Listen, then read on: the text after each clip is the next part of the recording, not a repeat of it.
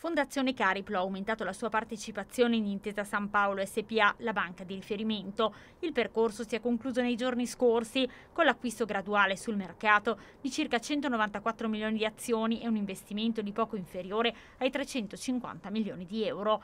La quota di partecipazione di Fondazione Cariplo al capitale di Intesa San Paolo passa dal 3,9 al 4,8%, consolidando così la propria posizione di secondo azionista stabile della banca. L'operazione è stata deliberata dagli organi della Fondazione, visto il piano di impresa 2022-2025 di Intesa San Paolo.